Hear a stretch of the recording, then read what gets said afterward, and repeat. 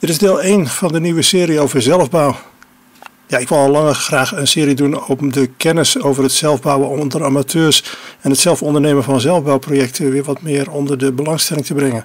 Zelfbouw vindt veel plaats in de afgelopen jaren. Helaas is dat bij zendamateurs maar zeer ten dele het geval. In wat de maker community heet, is het zelfbouwen zeer populair. Die groep die richt zich niet uitsluitend op elektronica, maar ook op 3D-printen en het maken van dingen van hout en nog een aantal andere zaken. In Friedrichshaven hebben ze dat net als op een paar andere plaatsen begrepen. Daar wordt de Hem Radiobeurs sinds enkele jaren tezamen gehouden met een beurs voor deze makers.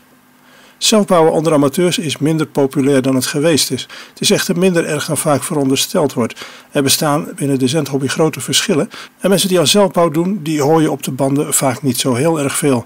Natuurlijk zijn er uitzonderingen, maar de archetype van de zelfbouwer is toch een beetje van een persoon die iets maakt om het maken die van het ene project naar het andere fladdert en die niet zelden ook meerdere projecten onder handen heeft, want als hij met het ene project dan helemaal vastloopt, zit hij in de tussentijd niet zonder hobby.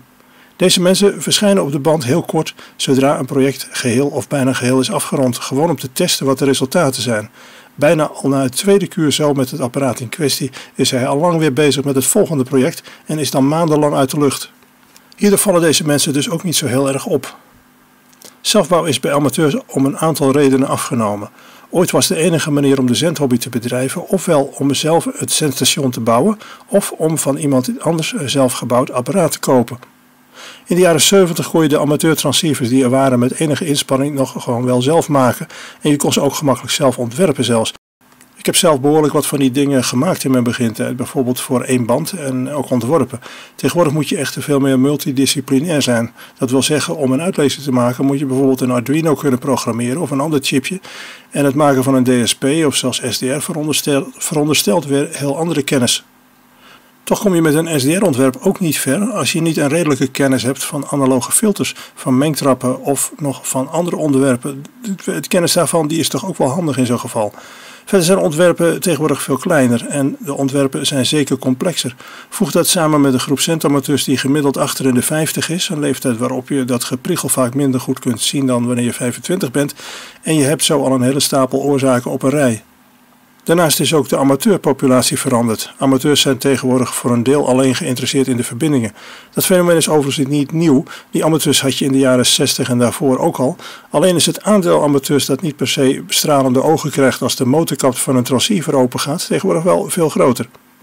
Toch zijn die zelfbouwers er zeker nog. Vaker dan vroeger bouwen ze kant-en-klare modules samen, dat zeker. Maar ook tamelijk moeilijk te maken bouwpakketten zijn er zeker nog behoorlijk wat te koop. En daar moet dus wel iets mee te verdienen zijn. Er zijn zeker ook nog mensen die op een redelijk niveau leuke dingen maken. Hier in de regio hoef ik bijvoorbeeld maar aan de projecten te denken vanuit het gooi voor bijvoorbeeld een Foxbox Fossiacht-ontvanger of de 23 centimeter transceiver van PE1JPD, die beide in een behoorlijk groot aantal en met succes nagebouwd zijn, voor een groot deel ook door mensen met relatief weinig ervaring op dit gebied. Ik heb een poos zitten denken hoe ik wat meer over het zelfbouwen binnen onze hobby kan vertellen. Voor met name relatieve nieuwkomers en op een manier die, bij hen ook of die hen ook aanspreekt. Ik wil me daarbij nadrukkelijk distancieren van standpunten als zouden zelfbouwers haast een heilige groep binnen onze hobby zijn. Het hoogste wel haast dat je kunt bereiken, want die geluiden zijn er ook. Ik wil met name laten zien dat het vooral leuk is. En met name ook als je nog niet zo lang met zelfmaken van dingen bezig bent. Niets, maar dan ook niets, is bijvoorbeeld zo leuk als om je eigen bouwsel voor het eerst te zien functioneren. Dat bij een ontvangen geluid uitkomt of dat een meetapparaatje zinvolle informatie laat zien.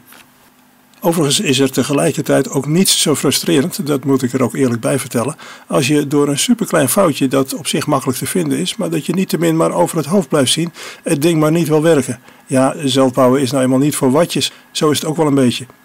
Maar het genot is natuurlijk wel des te groter als je na zoiets de zaak toch nog aan de praat weet te krijgen. Het is overigens niet gegarandeerd dat het zo gaat. Ik bedoel met die moeilijkheden.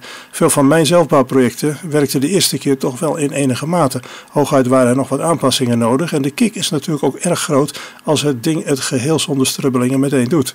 Ik heb er enkele keer als het zo gladjes ging, het gepruts en geploeter dat er soms ook nodig is, wel eens gemist. Overigens is het het beste om als je in zo'n geval vastloopt, om ondanks je ongeduld het ding gewoon een paar dagen te laten liggen en er dan met een frisse blik en vooral geduldig nog een keer opnieuw naar te kijken. En wat ook heel goed werkt is om een ervaren mede-amateur te laten meekijken, hoewel er ook mensen zijn die dit het liefste allemaal helemaal zelf doen.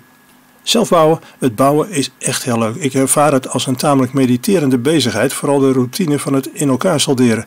En de kick van het resultaat is echt geweldig.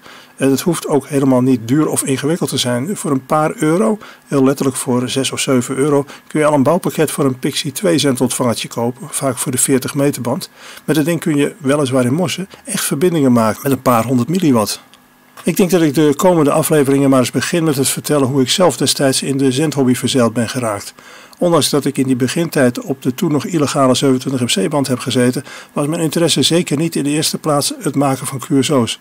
Verder zal ik in deze serie waarschijnlijk ook redelijk wat concrete projecten en mogelijke ideeën voor projecten beschrijven, van heel eenvoudig en snel te doen tot aan echt grote projecten voor de volhouders. Dat zal ongetwijfeld meerdere mensen op een idee brengen. Heb je zelf een idee voor de serie of een vraag naar een concreet iets om te behandelen of sowieso een vraag? Schroom dan niet om naar het bekende korte mailadres te schrijven xapenstaartje.xtv.me, maar dat kun je ook vinden op www.panolete.nl.